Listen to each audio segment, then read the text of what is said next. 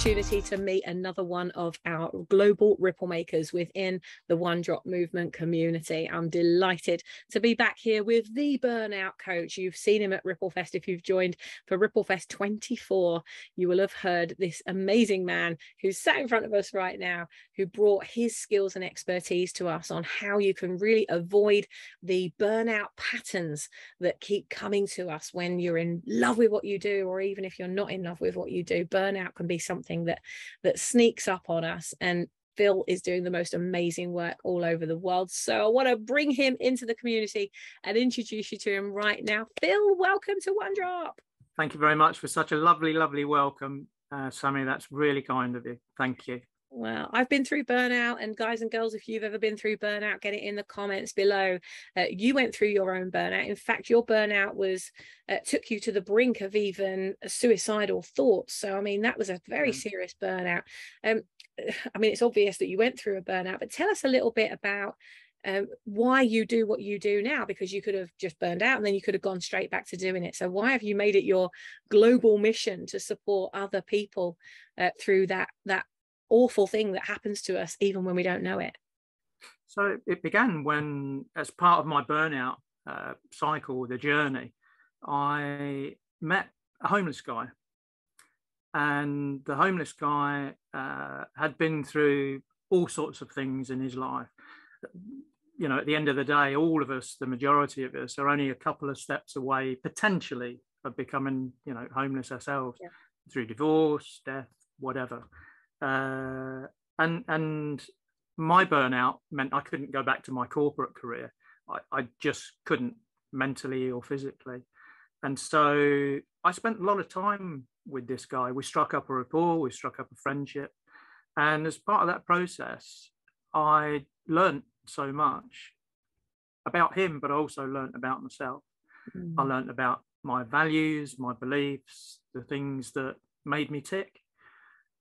And the burnout process meant that because I couldn't go back to my corporate career and I wasn't sure what to do at that stage, I kind of felt through the, the meeting with the homeless guy uh, who still had a purpose, even though he was homeless.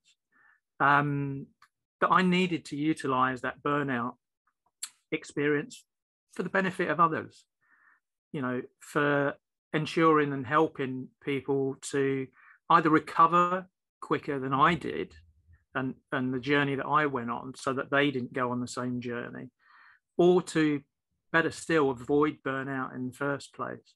So these days I spend a lot of time talking to people about how they're feeling. I'm a I'm a really passionate a, a mental health uh, advocate, mental well-being, particularly in the workplace. Yeah. And you often find that people have uh, two personalities, and that's certainly how I was. I was one person in the workplace, I was one person at home, and they really clashed. Uh, and the more they clashed, the greater the stress became. Mm. Uh, and so I spend loads of time now talking to people about the stress they experience uh, in the workplace, and that could be from a variety of different things. But most of the time, it's it's a clash of their own inner beliefs and values that they've acquired through their life, through their childhood, with what they do, what they now do every day. And the longer that goes on, the, the bigger the stress. And obviously, post pandemic, you know, people are trying to recover business profits. Uh, people need to work longer hours. Everybody, you know, uh, the crisis we're in at the moment, cost of living crisis, there's all sorts of mm. financial issues that people take to work with them. Mm. You can't yeah, really you don't leave it at your... home. You carry it, it with yeah, you. It's with you, isn't it? certainly is. It's with you 24 mm. hours a day. At the end of the day, we can't just leave things at the front door and they go away. They're in our minds all the time. And the thing with burnout, you know, you've burnt out yourself, Sammy, so you you you'll know even probably more than I do. But actually one of the things that happens with burnout is that there's a pattern to it yeah. And that pattern is there because we hold those intrinsic values those intrinsic beliefs.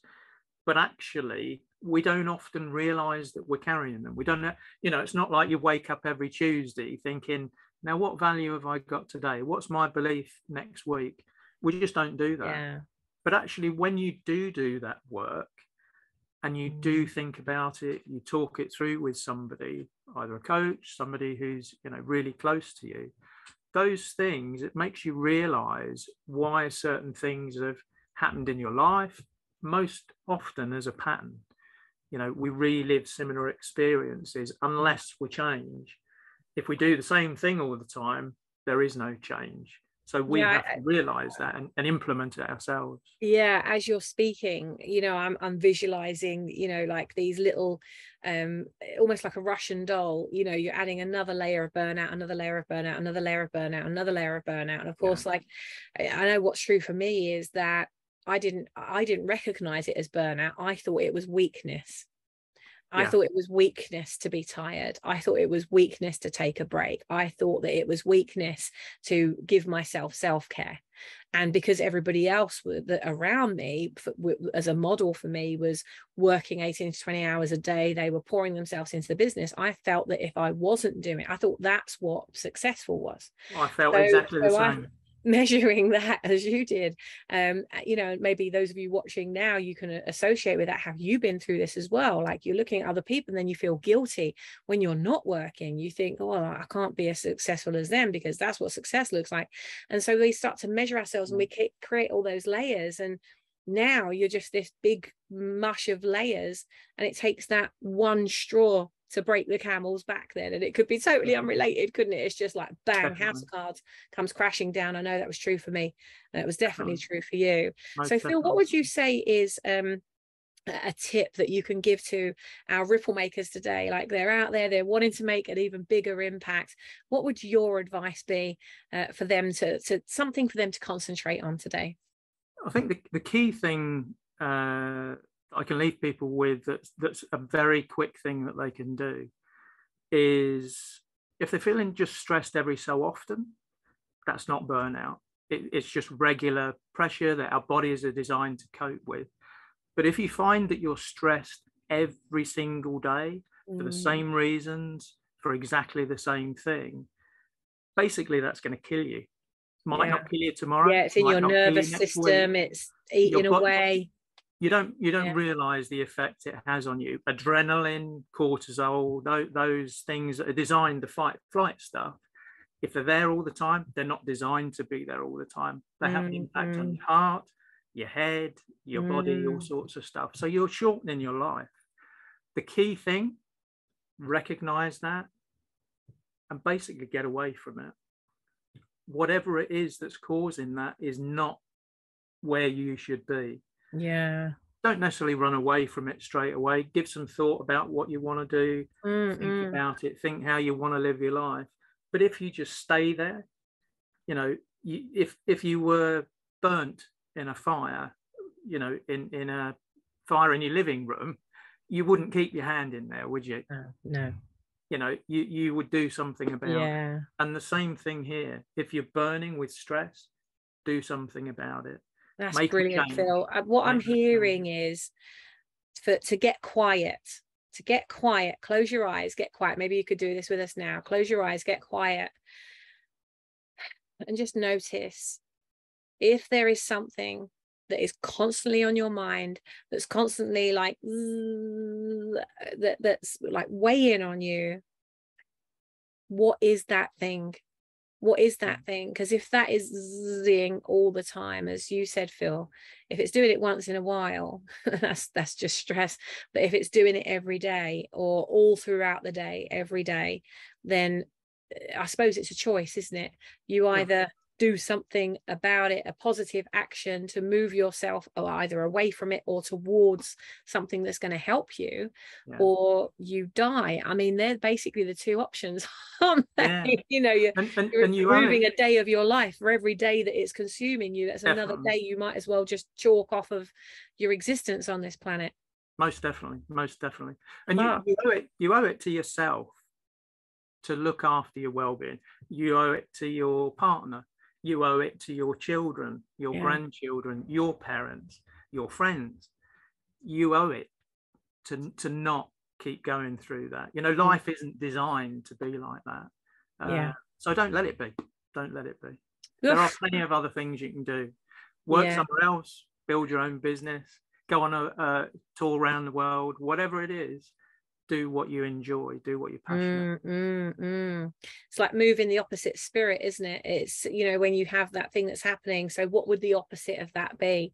So guys, whatever it is that's buzzing around in your mind, uh, you know, you, if you're going to keep your hand in the fire, it is going to burn you. So what is the opposite to the thing that is causing you that stress? What is what would be the opposite of that? What what would what would you most love? What would you most love?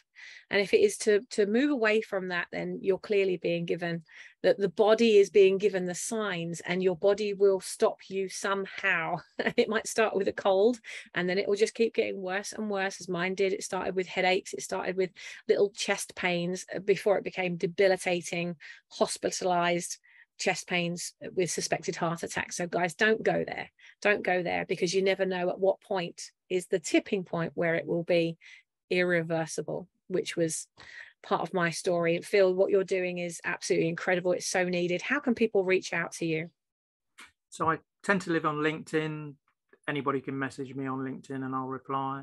Uh, my email address is philip at worklife180.com. Okay, so I'll make sure that all that information is up in the the description with this. Um, this and, and I offer a, a sort of a, an initial free introduction call. Okay. Where people can get to know me, I can yeah. get to know them to see whether I can help them either recover or to mm-hmm, uh, mm-hmm. you know prevent their burnout.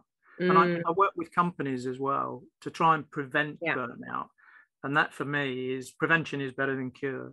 Absolutely. And, um, Absolutely. You know, I, I, I contact companies and they contact mm-hmm. me as well. Mm-hmm. Uh, so if you're in a company, talk to your HR yeah. people and get them to reach out to me as well. Yeah, perfect. All right. Well, just as we wrap up today's spotlight, Phil, how can we help you? Who are you looking to connect with, or like you're looking to speak? Uh, what sort of opportunities can we look out for you and and keep you in mind when when those things come up? Thank you. So so these days I do try and uh, speak. I've uh, spoken on people's podcasts, which is always great. I'm looking to maybe create my own podcast, which would be equally great. But yeah, speaking opportunities to talk to people, to give them yeah. the benefit of my experience, give them sort of tips yeah. and, and, tricks to, to help their own mental well-being. So any speaking opportunities are great. Um, and so I've, summits I've, that are about wellness and yeah uh, certainly like connected to business i would imagine more connected to business um yeah that's yeah. my background corporate, yeah yeah corporate yeah. career yeah Right, guys, you heard it here. Keep a lookout, keep your eyes peeled and your ears open uh, for opportunities where you can support Philip. And I'm sure that he'll support you back. So it's a game of I'll go first. Who do you know that you can recommend for Phil to talk on their summit or their podcast or their webinar, or maybe they're running a program or a course? And he would be that perfect cherry on the cake to, to bring in and be a part of that event. Please connect them. Uh, Phil, thank you so much for coming and dropping in with us again. We, we just had the pleasure of you speaking at Ripplefest and, and doing a longer session with everybody. So, guys, make sure you go and um, and watch the uh, August 2022 day two Ripplefest, and you'll find Phil on that session. Phil, thank you for dropping in with us today. Thank you so much, Sammy. Thank, thank you. you. And guys and girls, we'll be back with another Ripple Making Spotlight. We're live at 11:15 a.m. UK time each and every day to feature Ripple makers from all over the world who could be your next best collaboration, your next best joint venture, your next best client, partner. All kinds of opportunities come from this. So show up and you be in this seat maybe yourself one day. so take care, have a wonderful day, and we'll look forward to seeing you in the next spotlight. See you soon. Thanks, Sammy.